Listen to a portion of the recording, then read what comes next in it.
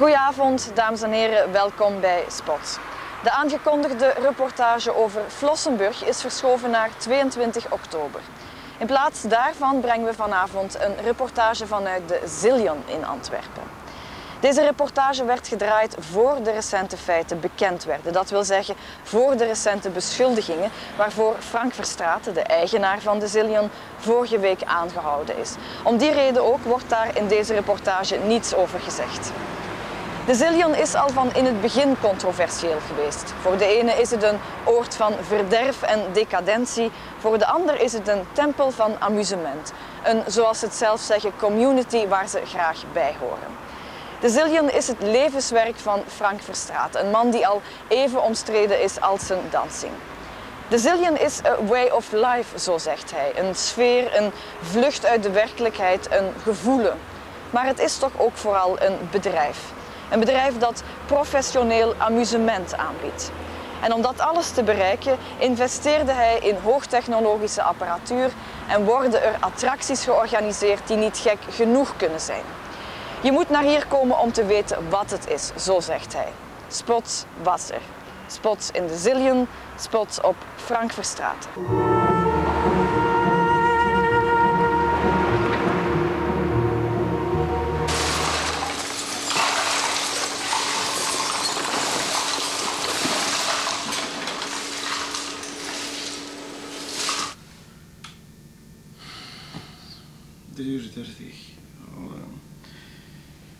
ik vijf uur geslapen. Moet dat nu echt? Is hier geen Big Brother, jongens.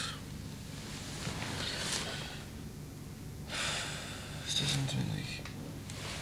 26 telefoons gemist.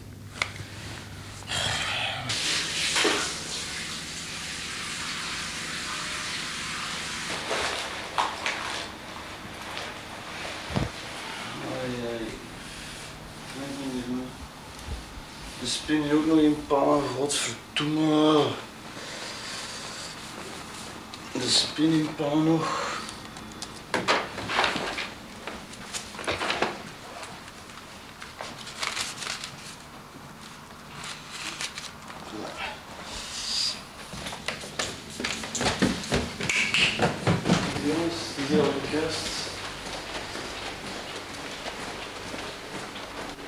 Wie is hier allemaal? Wat is de spin, jongens? Gaat dat echt niet werken? Eh, de technoconstruct die kan niet komen. Wat Die zijn de dringende dus- problemen nu dat je vandaag hebt? De dringende problemen die nu vandaag zijn.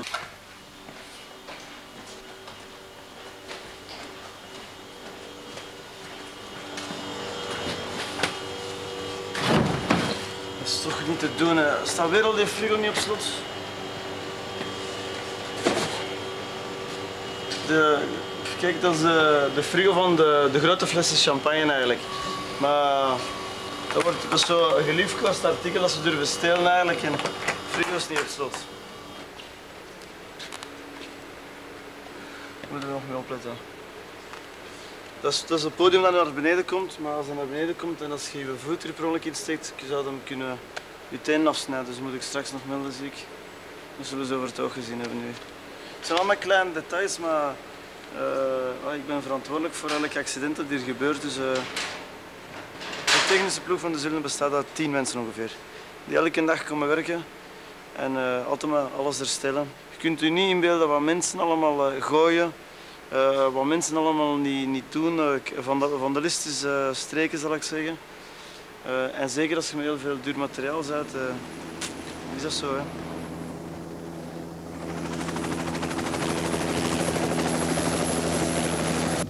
Oscar Oscar uniform is approved. Bye bye. Bij mij, dank je. Nu gaan we richting eh, eh, Dendermonde. eh, daar hebben we een bedrijf, op het industrieterrein in het Oogveld hebben we een, eh, een bedrijf dat eigenlijk eh, eh, alleen maar de, de nieuwe technologische eh, machines maakt die we gebruiken in de Zillion. En we zijn nu daar eigenlijk eh, aan het werken aan een nieuwe lichthebel voor eh, Gent. En nu ga ik even de plannen bekijken eigenlijk.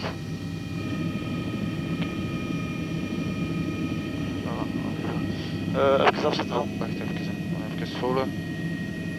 En heb je die schaarliften die je dan in een container buiten Ja, gestoken die, allemaal? die liggen al klaar in die containers, die kan ik er niet uithalen. hè. En dat is de nieuwe cirkel voor de nieuwe Ja, dat zijn de onderdelen. En dat zijn de vorken Ja, genomen. de vork en alles. Ja. Ja. motoren, En dat zijn dan de nieuwe armen. armen. Ik heb Roger een partner gevonden eigenlijk. eh, en eh, wij kennen elkaar al nu al eh, een jaar of tien bijna zeker. Tien jaar. hè. Ja, een beetje uit eh, het vijfcircuit nog van tien jaar geleden. Als, ik was een jonge gast. eh, hij was ook nog allee, hij was dan actief in, in, in, in, in, in, in het vijfcircuit, zal ik zeggen. En zo zijn wij samen de Zillion begonnen te bouwen. En dat is een succes geweest. En nu zo doen we het een project achter het ander. We gaan proberen vijf zaken te bouwen, verdeeld over Vlaanderen. En dan heb je eigenlijk niet meer een discotheek, maar dan heb je eigenlijk een concept, een, een netwerk van vijf grote discotheken. En dat kun je naar de beurs brengen. En dat is een beetje langs de kassa passeren, zou ik zeggen. Ja, ik heb dus een kleine ding. Maar die... Ook die motoren binnen, die zijn kleine. En met servomotor werken in Ja, plaats ja. van frequentieregelaars. Veel interessanter. Het zitten al verdere plannen, maar die zou ik liefst niet op de camera. Want dan, zie je te veel details op al. Hè. We gaan eh, de fouten niet meer opnieuw maken die we gemaakt hebben in Antwerpen. Nee, maar want, het eh, land draait ook al perfect op servo. Hè. We hebben hier een, olie, allee, een man uit de oliebusiness gehad, een Lets zakenman. Die is in de Zillion binnengestapt en die zegt, voor me the same. Wij, wij dachten eerst dat is voor het lachen, hè. maar inderdaad, we hebben daar praktisch 60% van de animatie. Je kwam binnen, I need the same, copy me this. Ja. Dan zijn wij maar gewoon de boel gekopieerd hebben eigenlijk. Eh, dat weten eigenlijk heel, heel weinig mensen, maar de zillen qua dansvloer, podiums, de inrichting, de meubilair, de lichtthemel, alles dat je ziet is een volledige kopie, 100% gemaakt eigenlijk in het buitenland.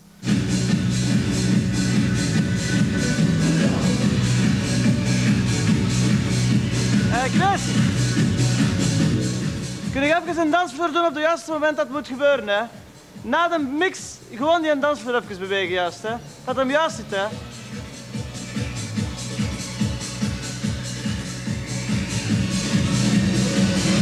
Ja, nog omhoog, omhoog, omhoog.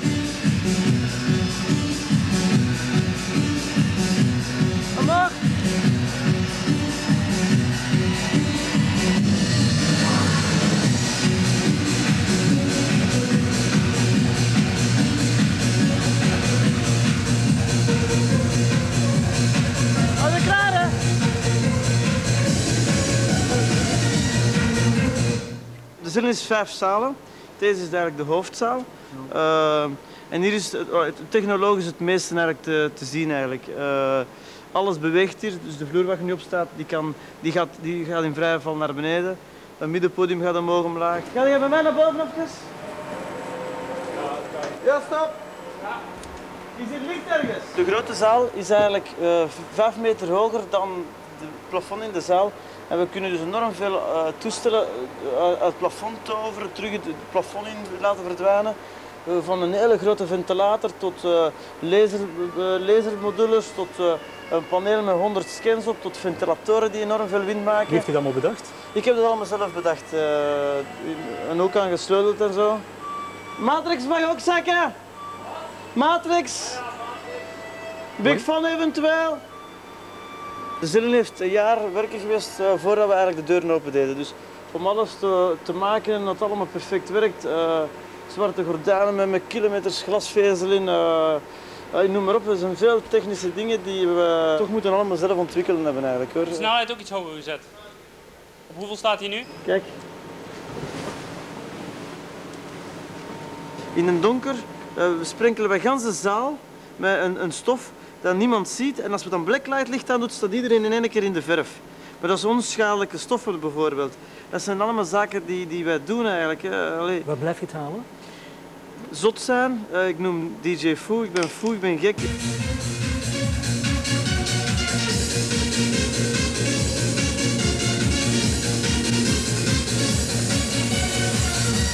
Hyper, niet hyper, hè. Die een break hyper, hè. Hij is nog proper gedaan, hè. Begin is goed, hè. Doe nog eens even van het begin eens even. Ik vind, het graag om te zien. Het begin nog eens even, hè. Zie, dat is gemaakt, dat is er los op, hè, man. Je moet dat zien, jongen. Kijk, jongen. Wanneer begint het heel sterk te worden bij ons in de cellen, dat we eigenlijk alle parameters op een lijn krijgen in, in, in, in, in de entertainment. Dat wil eigenlijk zeggen dat alle mechanica Dus de, het bewegen van de vloeren, van de, van de danspodiums, van, van, de, van, de, van de podiumliften. Er zit dus enorm veel hydraulica onder de vloeren. Dat dat tegelijk met de lichten, tegelijk met de muziek, tegelijk met de laser, tegelijk met de dansers die juist synchroon op die seconde op een bepaalde positie een licht op hun krijgen. Dat al die, al die parameters tegelijk eigenlijk in actie komen en allemaal schoon georchestreerd. En dan krijg je van die momenten dat je te boog komt te staan. En dan zeggen ze dat. is- En dan, dan eindigen we eigenlijk zo'n momenten van. This is Zillion Life, zeggen wij dan eigenlijk. Dit is iets nieuws. Ze hebben er daarvan 100.000 gekocht, maar dat dan voor veel zaterdagen. Hè. Mag ik een keer gebruiken? Dat is echt gaaf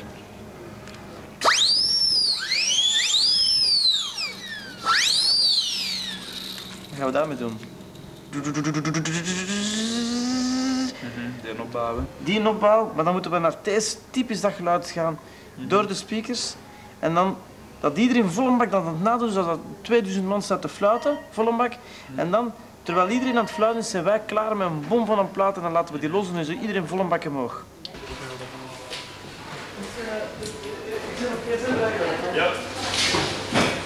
Dat is eigenlijk een toog eigenlijk, wat je dus ziet. eh, dus die sterke dranken die komen hier allemaal uit. Al die softdranken die komen hier allemaal uit. Als er drankproblemen zijn, dus als er problemen zijn met bepaalde tekorten van dranken, komen er hier op displays die teksten. eh, wat de barmeisjes moeten doen als er bepaalde problemen zijn met stokjes. Al die frigos, hey, dat zijn zaken dat mensen eigenlijk niet... Het is even stillen! Hey! Ja, dus, dus de, de losse flesjes eigenlijk, zo zit je in de frigos, die zitten allemaal in bakken. Met elke bak, je gaat dat zien, dat zijn eigenlijk weegschalen. Dus al die bakken hier, dus waar de flesjes in staan, dat zijn eigenlijk weegschalen. Dus de computer die weet perfect door het gewicht hoeveel flesjes dat daarin zitten. Dus als je hier een flesje uitneemt, de computer die weet dat dat flesje is genomen doordat dat gewicht verandert van die, die bak eigenlijk. Dan wordt zo'n ring opgezet eigenlijk en dan krijg je alleen maar drank uit door eigenlijk deze te gebruiken. Je zet het hierop, je draait het om en dan registreert de computer door die ring welke fles dat er gebruikt is en wordt ook de juiste hoeveelheid gedoseerd eigenlijk. Dat is heel belangrijk blijkbaar, die controle. Eh, er mag niet gestolen worden in het nachtleven. In het nachtleven, eh, iedereen is zat. De barmensen drinken, drinken ook wel al eens iets. Eh, die mensen willen ook allemaal veel geld verdienen. Er moet hard gewerkt worden. Die in het nachtleven verdienen wel veel geld, daar niet van. Maar je moet het, eh, er moet toch strenge controle zijn, eerlijk gezegd. Hoor. Landing will be at uh, Zillion Beach. Zillion Beach, roger. De mensen die hier allemaal geweest zijn van de zomer hebben echt met lof gesproken over Zillion Beach. eh. Het is echt eh, met die kranen die verlichten, die verlichten we dan s'nachts en zo.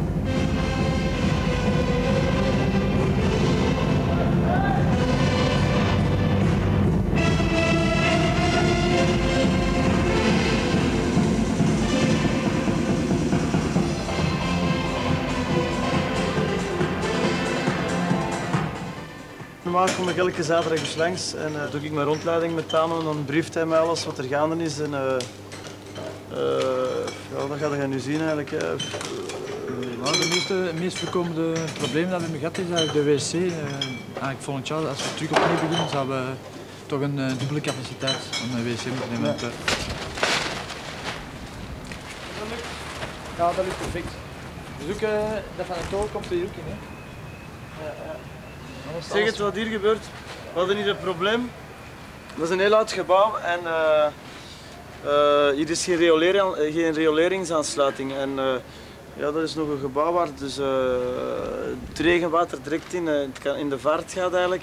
En dat mag niet, wat hebben we daar gedaan?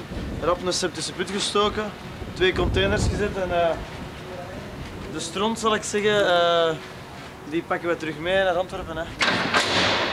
Hier is alles afgebroken of waar? Nog niet, nog niet. Dus het meeste van de lichtflauws en zo, is afgebroken. Hè. Eh, dus ik toren zijn er nog. En anders blijft het eerst, dat moet opgebroken worden. hè. amai, amai, Dus we kunnen dat nergens beneden zetten, hè. dus we laten dat hier voor het moment. Hier mogen we een cola drinken. Dat is in orde voor de hygiëne, dus voor de instantie van de hygiëne. Maar die cola uitgieten, dat mag er niet. Dat moest eigenlijk in een cleanere zone zijn. En daarvoor, daarvoor hadden we deze ruimte nodig. Dus daar mocht de cola uitgegoten worden in een glas. En hier mocht hem gedronken worden. Allee, dat, dat kun je toch niet inbeelden, maar daar lagen dit is allemaal moeilijk over te doen.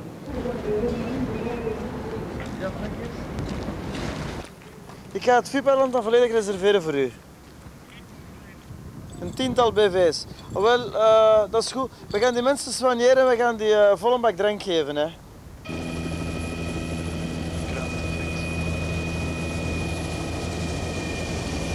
Wat gaan we doen, jongen? Want, eh, hoe gaan we de nacht ingaan? Voor, hetzelfde als gisteren. Kurt. Maar dat is een gast, ik heb die eerlijk gezegd nog nooit gezien. Hè. Ik kan hier toch moeilijk in op de bureau gaan zitten en een gast dat ik nog nooit gezien heb. Je beperkt in zijn verantwoordelijkheden. Jij met Kurt een bureau en eh, netwerk. eh, Danny de zaal. En eh, Bruno het draaiboek volgen. En het personeelbrieven wat ze moeten uitdelen eigenlijk. Dan gaan we zo de taken opsplitsen van Bart. En dan gaan we maandag dus dringend op zoek naar een nieuwe personeelsverantwoordelijke. Hè. En wie gaat dan het personeel toespreken straks? De grote chef. Hoe lang is het geleden dat ik nog eens het personeel heb toegesproken? Ik denk dat die mensen mij... Kennen die mensen mij nog? De vorige personeelsverantwoordelijke verdenken we dus nu van eh, diefstal eigenlijk. Ehm, en eh, ja, er is, een- is een relatie. Hij is ook verantwoordelijk over eh, het meisje van de kassa. En eh, dus dat is ook een belangrijke post van uh, financiën die binnenkomen. Dat is een belangrijk probleem. Vertrouwen, misbruik van vertrouwen. Ja, en daarom echt wel gers afruimers die, die geld pikken. Allee, afruimers die volle glazen terug op, ophalen en die dan een garçon doorgeven, die die opnieuw terug opnieuw verkopen. Garçons die elkanders drank afpakken om te verkopen. Die personeelsverantwoordelijke, die moet eigenlijk iemand zijn, een beetje een Adolf Hitler type, moet een beetje heel streng zijn. En als die mens zelf niet streng is, of die zelf begint aan de kassa te zitten, dan loopt het spel helemaal in tonder.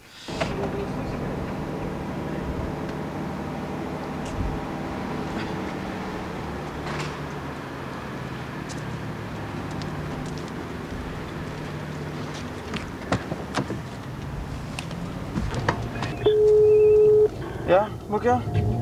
Ja? Ah, is hij verjaard vandaag?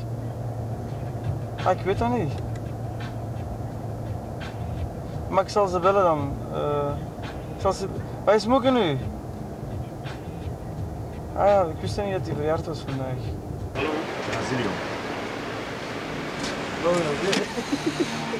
De volgende dringende zaken zijn eh, op eh, 11 oktober hebben we die eh, zaak met rechtstreekse dagvaarding.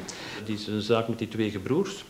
Dat is een heel zwak dossier, maar we moeten ons daar alleszins een beetje eh, op voorbereiden. Het is 11 oktober, dat is niet ver niet meer, dat is binnen een maand. Echt eh, allemaal kotsende beulens. Mijn agenda, als ik dat zie, hoeveel keer ik naar de rechtbank moet gaan. Ik, denk dat ik nog deze jaar, nu nog de periode september tot eh, december, dat ik een keer of 15 naar de rechtbank moet gaan. Gewoon voor zaken waar ik altijd wel verantwoordelijk voor ben, maar dat ik gewoon ni- niks van weet. Ik moet daar altijd tegen die rechter zeggen, ja, ik heb dat horen zeggen, of ik, ik, ik denk dat het zo is gebeurd, maar ik was er niet bij. Dit is de kopij van die brief die ik verstuurd heb. Ja, even om goed te coördineren. We hebben dus een advocaat voor sociale zaken. Jij doet alleen de strafzaken en de dagvaardingen van schuldvorderingen. Dan hebben we nog een groot dossier van... eh dus Gecoördineerd dossier, Het gecoördineerd dossier doe je Ja. nog. Dan hebben we nog één advocaat dat dus in eh, st- eh, Stibbe doet dan eh, milieu- en bouwovertreding. Mhm, klopt. En dan hebben we de laatste, die een dazen, die moet eruit. En dames moet eruit, want dat Die is een zaak die ook bij u zit, denk ik. Die dazen wil ik vragen naar u dan. Ja. Heb je Nee, nog dat voor mag ook advocaten? Eh, Dumont. En, en dan fiscaal en financiële zaken, dat doet dan Sablon. Ja. Iedereen zijn een job een beetje, hè. En als we gewoon een justitiepaleis naast een discotheek bouwen, maar ik maar. Het is toch geen voordeel dat ik al niet meer met noten naar het justitiepaleis. Kan te voet erheen gaan. Dat is hier eh, de speelgoedwinkel, zou ik zeggen. He is uh, responsible for uh, all the toys inside. dus ehm, we hebben dus al, al het gekste dat je maar kunt dromen. Als je zo synchroon en in één keer duizend mensen tegelijk zo'n waaier geeft, of iedereen staat zo met een waaier te zwaaien, maar dan met, met 500 tegelijk, dan krijg je een nieuw effect eigenlijk. En de mensen verwachten eigenlijk wel dat wij om drie uur, eh, dus dat wij op een geregelde tijdstippen eh, de acties ondernemen eigenlijk. Snap je? Ja, er zijn nog collections of zo, ligt er allemaal? Wat is morgen hier? Het is millennium, iedereen verwacht, ik weet niet hoeveel. En hadden we grote ventilatoren geplaatst eh, op eh, het podium. En dan hebben we gewoon 1 miljoen in cashgeld de zaal ingegooid.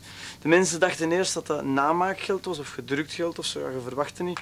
Maar toen ze die briefjes echt begonnen te bekijken, dan zagen ze dat dat echt geld was en dat was dus wel een gigantische stunt. Daar hebben ze lang nog van gesproken van eh, die nacht. Babyweekend, condomen. Nog eh, een overschot van eh Sundays. Zo, blacklight. Zwembandjes. We are the world. Traditionele confetti. Tot eh, maskers. Hartjes voor op hoofd. Halloween.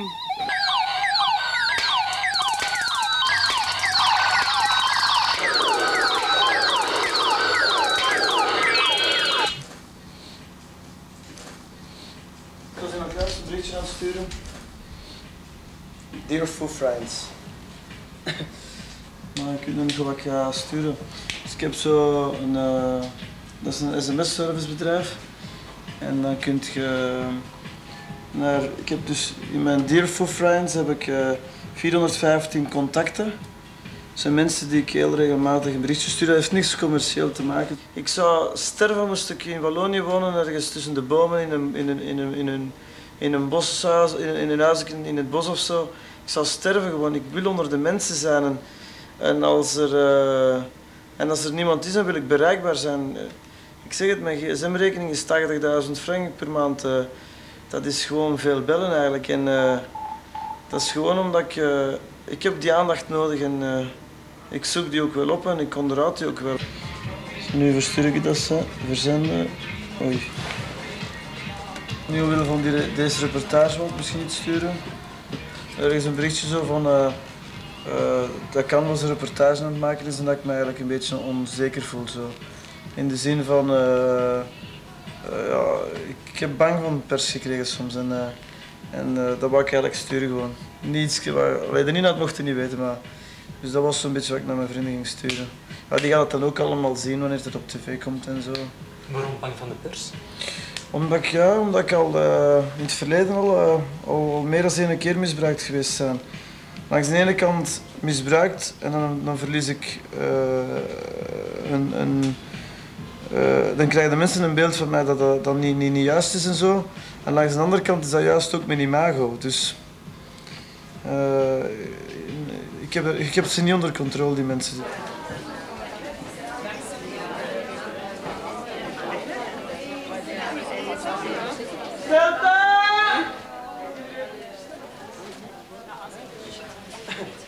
Maar hier dus. Is iedereen eraf? Zo, kom jongens, jongens, wat door. Allee jongens, zijn er laatkomers of zo? Want eh. Hey, kom aan jongens. Ja, personeelsvergadering. Ik zeg niet een Bart, de Bart is er niet meer. Ehm, Bart zal ook nooit meer terugkomen. Hij is gewoon ontslagen. Eh, maandag gaan we op zoek naar een nieuwe perso- personeelsverantwoordelijke. Vandaag is het nu op uh, zetnettijd uh, 9 uur 35 en 40 seconden. Kan iedereen zijn uurwerk gelijk zetten? Het is 9 uur 35 en 45 seconden. Dus 3 uur horentjes uittelen stipt, 4 uur aanstekers, om 1 uur 15 fluitjes, 2000 fluitjes. Die worden uitgedeeld in alle zalen tegelijk. Nog een paar opmerkingen. De kledij. Vorige week waren er toch nog veel mensen die niet eh, in perfecte zillinkledij rondliepen. Ik wil dat echt iedereen met een zwarte broek en een wit hemd eh, rondloopt met de, de juiste dresscode voor het personeel vandaag nog.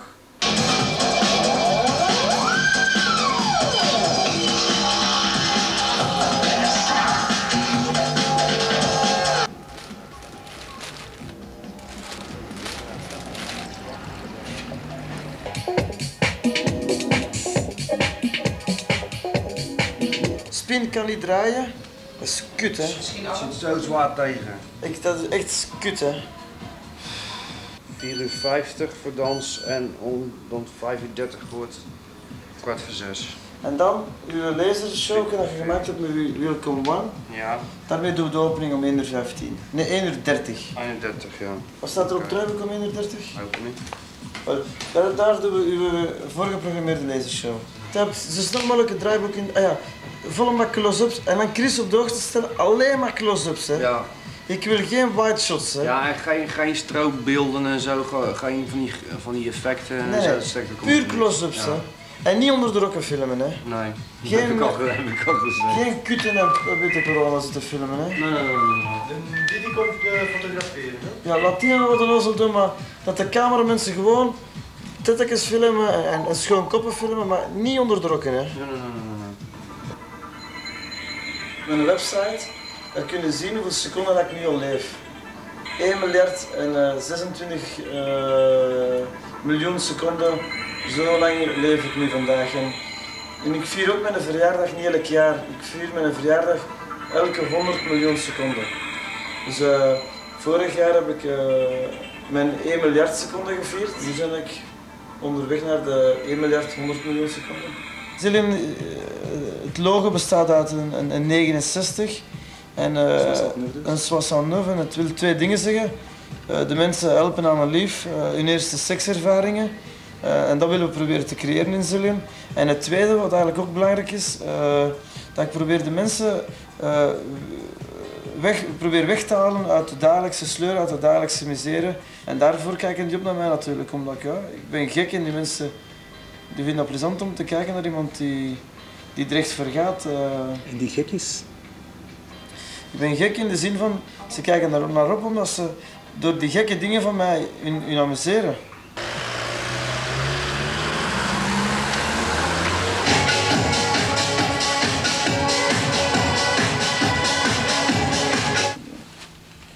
Ja, ziet er toch goed uit. Deze is nu wel heel warm. Kousen van thuis.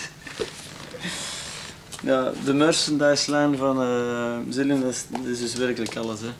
Broeken, hemden, ondergoed, eh, badpakje, handdoeken, alle mogelijke zakken en tassen en jassen, petjes, de t-shirten, pullen, winterpullen, jassen, eh, skivesten, eh, noem maar op.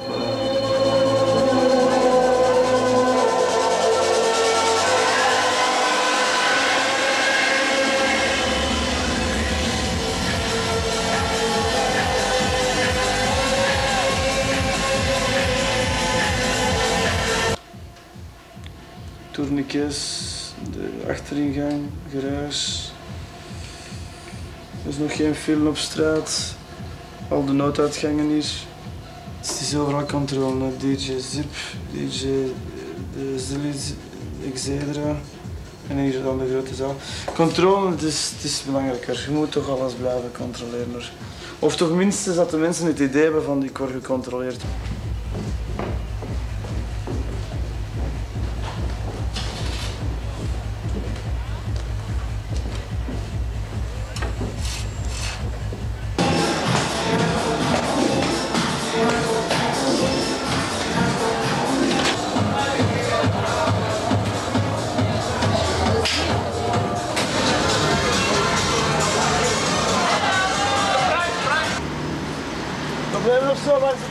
Parkingverantwoordelijkheid?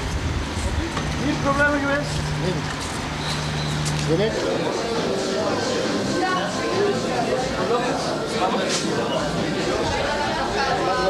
Johan? Volk?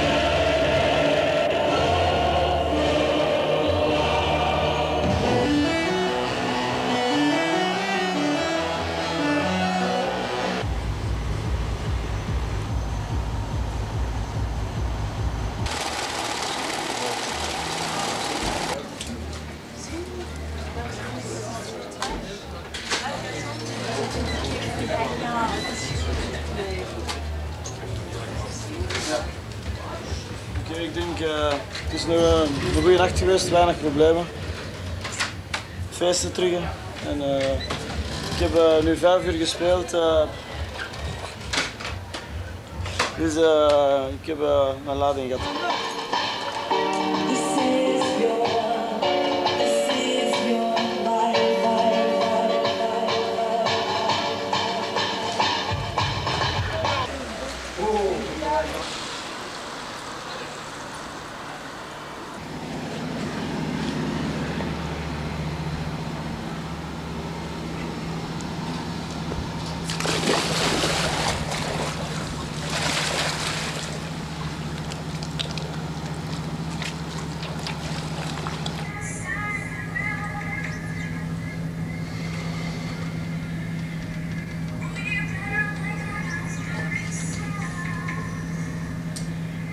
Zeg altijd, hoe kan ik tegen de lamp lopen als ik niks mispeuter? Maar op, toch op veel manieren proberen ze toch altijd discrediet te creëren rondom mij.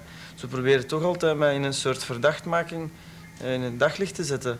Eh, ik zeg het, ik ben iemand die, zeer goed op mijn tellen moet letten. Eh, deze business gaat nu eenmaal gepaard met heel veel dingen die soms de wet willen overtreden. Ja. Leef je soms met het idee dat je wel eens in de gevangenis zal terechtkomen? Wel, ik moet eerlijk zijn, eigenlijk wel ja. Ik denk dat ik zelf al heel veel uitdagende eh, stoten heb uitgehaald of dat ik heel hard provocerend soms mij gedraag. Eh, dat sommige mensen wel eens zeggen, we, we gaan dat mannetje een keer proberen te hebben. Eh, ja, ik kan dat ook niet aan doen. Het is, mijn, het is misschien mijn leven, het is, ook, het is ook mijn succes, want het is die manier van, van zaken doen dat ook juist het publiek wilt.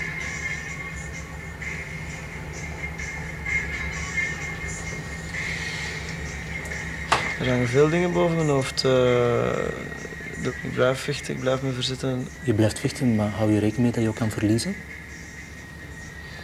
Dan moet ik me verzetten. Dan moet ik. eh, Opnieuw de vraag. oh, jongen, wat moet ik daarop gaan antwoorden? Nee.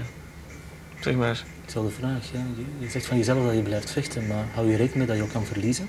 Ik ben een slechte verliezer.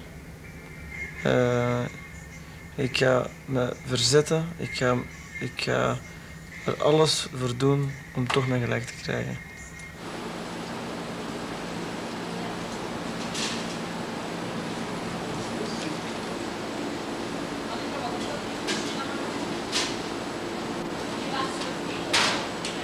De party, nog even zeggen dat deze reportage gedraaid werd voor de aanhouding van Frank Verstraeten.